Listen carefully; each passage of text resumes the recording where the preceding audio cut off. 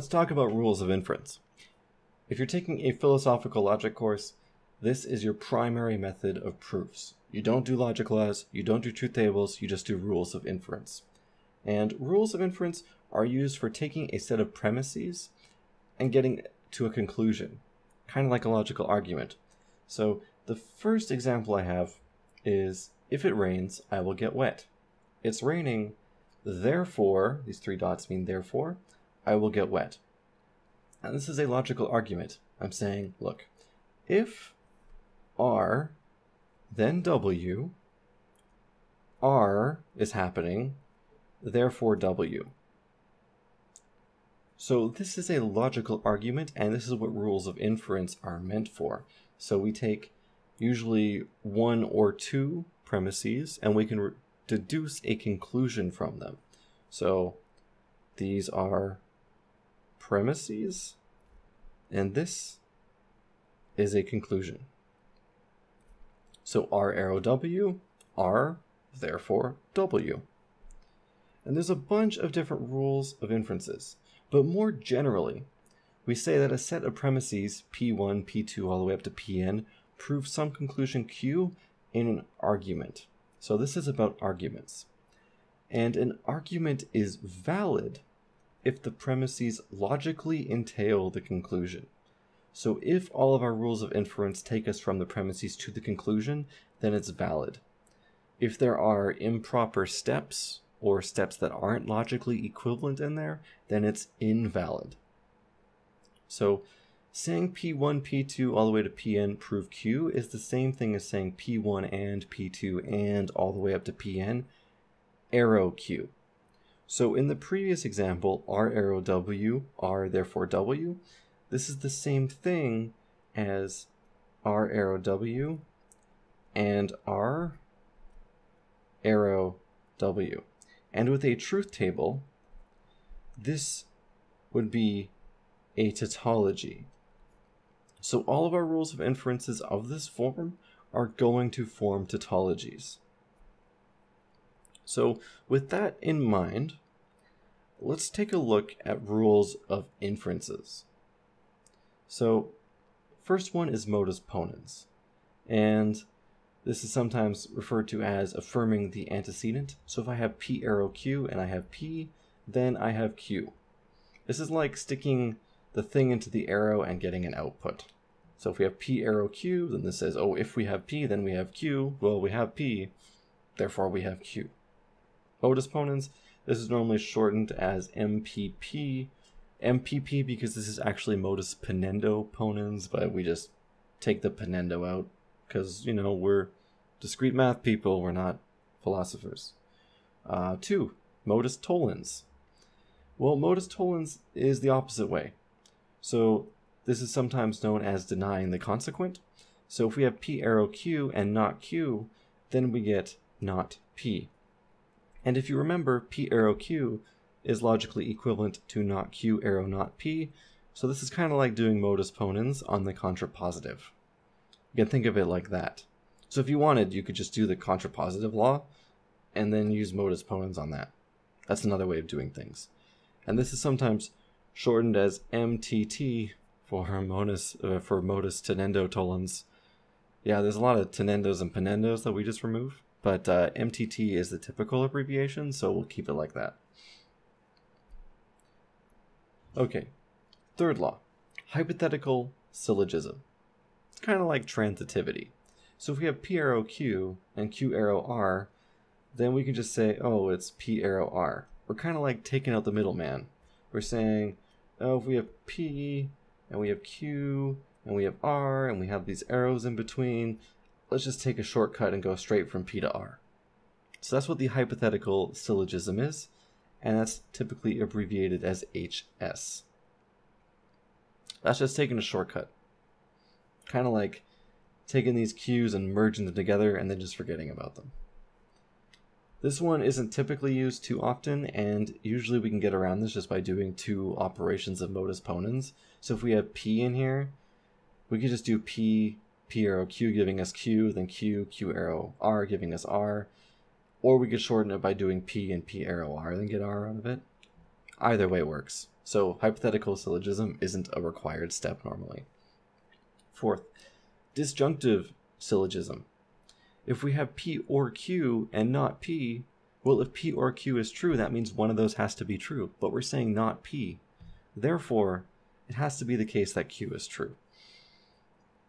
And this is again abbreviated DS. So again, P or Q.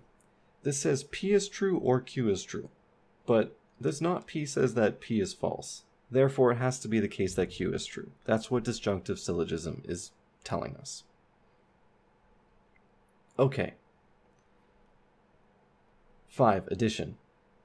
Addition is really straightforward. If P is true, then P or Q is true. And sometimes this is just known as OR introduction for VI. So OR introduction. The I is for introduction. And this just states if P is true, well, then P or anything is going to be true. That's just the definition of the OR. Simplification P and Q. Well, if P and Q is true, then P is true and Q is true. Therefore, P and therefore Q. Sometimes this is also known as AND elimination because you're removing the AND from it.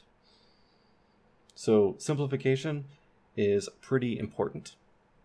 The opposite of simplification is conjunction, also known sometimes as AND introduction. So if we have P and we have Q, and those are both true, then of course P and Q is going to be true. So simplification is removing the AND, conjunction is adding the AND in between two true statements. Okay. Those are all the rules of inference that we need to do some proofs. And of course, if you remember them all just seeing them out the first time, wow, incredible. Of course, I expect you to pause the video and go back and learn them and do practice with those. But let's just do some examples. So for the first one, I have three premises. I have R, R arrow D, and D arrow not J. And I want to prove that 1 through 3 entail not J. And we need to justify every step. So the first thing I always want to do is I always want to do modus ponens. It's like the first thing, if I see something and I see something arrow something else, I want to stick them together. So the first one, I have R and R arrow D. So I can do modus ponens on those, and I can get D. And to write a step in a proof, we want to say, okay, so using line 1 and line 2, we did modus ponens to get 4. So from 1 and 2, we did modus ponens. So R and R arrow D gives us D. 5. Now I have a D, and on line 3 I have D arrow not J. So through modus ponens, I can get not j using 3, 4, and modus ponens. So we have shown, using our th three premises, that we can get not j. Now, of course, that wasn't the only way to do things. We could have used hypothetical syllogism. So using 2 and 3, we could have merged r arrow d and d arrow j together to get r arrow not j using hypothetical syllogism. And then we could have applied modus ponens on lines 1 and 4. So two different ways to do the same proof, or to get the same conclusion. Let's do one more example. So I have not R or not F arrow S and L. I have S arrow T and not T and I want to show that R. And right away you're saying, whoa, this isn't just modus ponens, what's going on? Yeah, it's not always super straightforward. But what do we see? Well, we see not T, and we see S arrow T. So I think this is a good time to use modus tollens. So if we have S arrow T and not T, this means we get not S. So this is 2, 3, and MTT. So now we have not S, and we're thinking, what can we ever do with this? Well, in line 1, what we could do is we could just use the conditional law and see where that gets us. Or we could take maybe the contrapositive of 1. So again, we can still use our logic laws if we want. That's still available for us. So the logic laws with the contrapositive, we would get not S and L, arrow, not, not R, or not F. Okay, and this is just line 1, and this is just the contrapositive.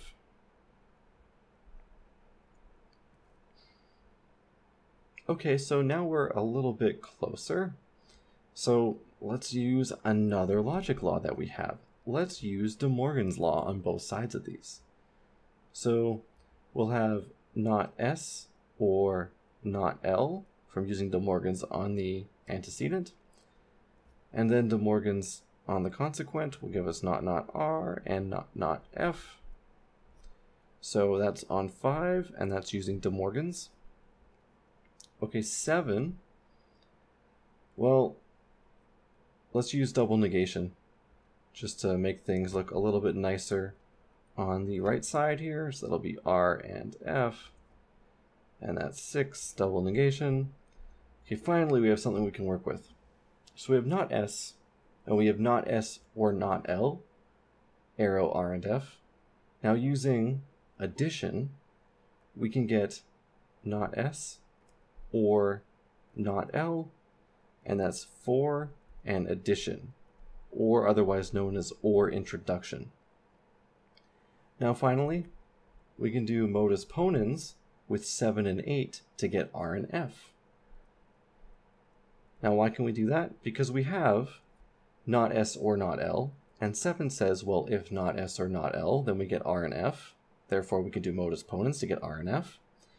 And finally, using simplification, we can pull out R from the conjunction. So that's 9, and that's simplification. So there you go. There is a much more complicated proof of rules of inference, also using some of the logic laws. So rules of inference is really like the capstone, the peak of propositional logic. It is usually incredibly difficult at first, and then once you get more practice, it gets much easier. But of course, in a philosophical logic course, you don't have the logic laws to work with, and you also have a few more rules that I don't introduce here because in discrete math, you normally don't introduce things like reductio ad absurdum or other things. But if you have any questions about this, of course, feel free to ask and I will do my best to respond.